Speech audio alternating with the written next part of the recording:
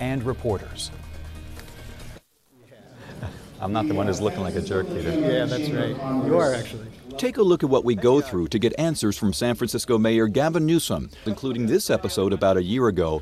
Newsom's press secretary, Peter Ragone, is there, running interference. If you don't want to answer the questions that the public wants answers to, that's fine by me.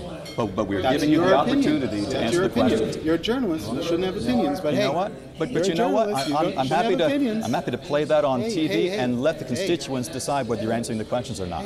We often wind up following Newsom into an elevator and outside where he sometimes will finally give an answer.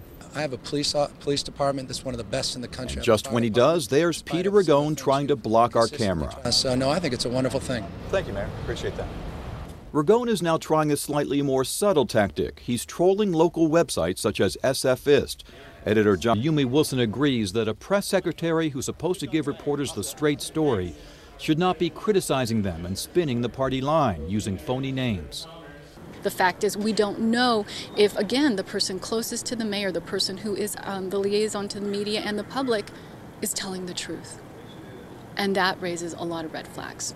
Ragone recently posted an answer to this controversy on SFist. He says, John Nelson is my best friend, and yes, he does stay at my house all the time. Our sons are best friends also. I think we have the same viewpoints on most things.